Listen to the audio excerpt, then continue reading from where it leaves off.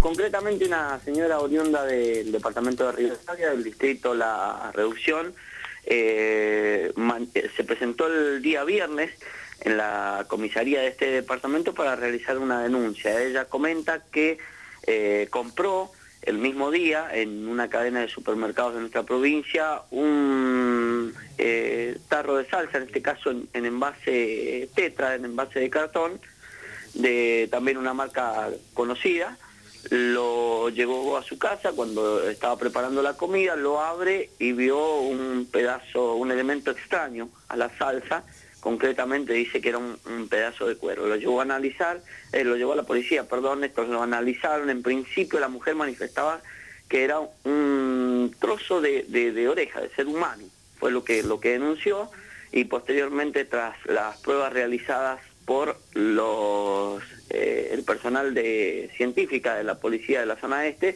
nos manifiestan que sería, aún no lo tienen confirmado, pero sería el trozo de, cuero de un cerdo o de un roedor.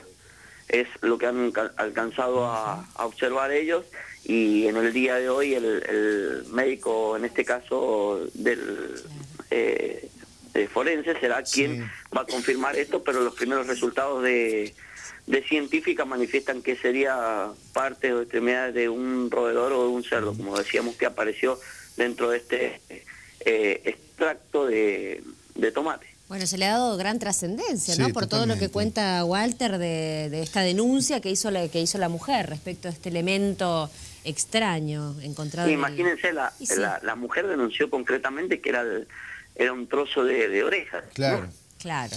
Eh, bueno, que ella alcanzó a, a, a ver. Indudablemente aquí va a tener que eh, hacer un eh, análisis bien exhaustivo la gente de, de la municipalidad, ¿no? Del área de bromatología para determinar... Sí, control bromatológico, exacto. Bueno, perfecto. Y seguramente si hay... Bueno, ya que haya un elemento extraño dentro de un envase, es una irregularidad. Esperemos que se sancione como corresponde, ¿no? Sí, de todas maneras, de una oreja de ser humano a un a un a un resto de, roedor no no es muy agradable tampoco. No, para nada. Bien, Walter, gracias. Hasta luego, buen día. Hasta luego. Seguimos hablando con